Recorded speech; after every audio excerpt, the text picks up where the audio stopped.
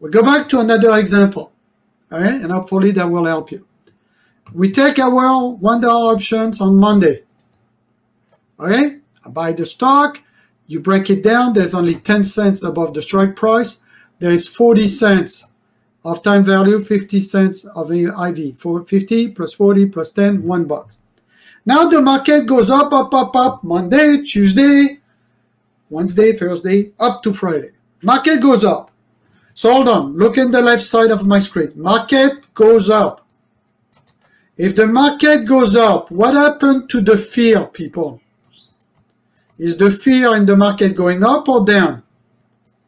Market up, fear up or down? Aha! Fear is going down. Complacency sets in.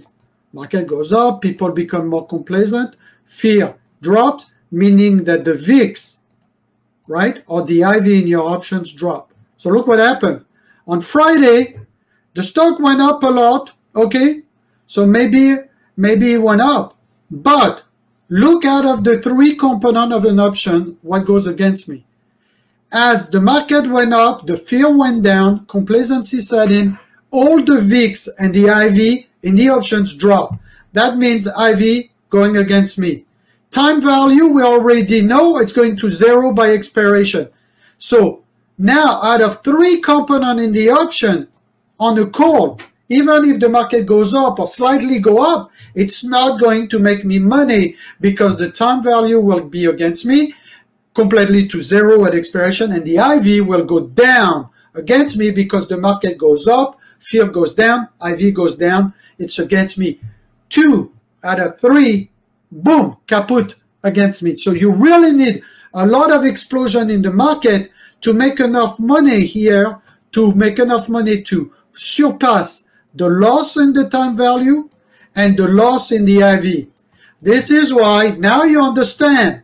People always ask me, Mark, why you are not a big fan of calls, This is why now you know logically why I'm not a big fan of calls, because two out of the three components go against you. This is why I prefer buying at support day trading zones.